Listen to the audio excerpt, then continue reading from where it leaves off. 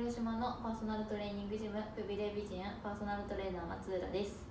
今日はヒップアップのエクササイズをご紹介します。まずは仰向けに寝転がります。では体の横についていただいて足は肩幅で膝の下にかかとがくるように足を立てます。このままお尻の穴を引き締めるように天井に向かってお尻を引き上げていきます。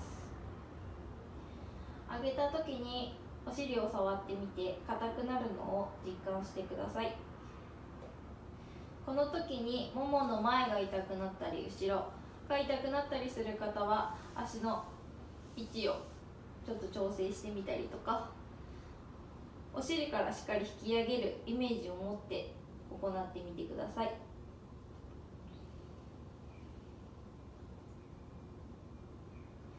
大体10回から15回を目安に行ってみてください。レッツトライ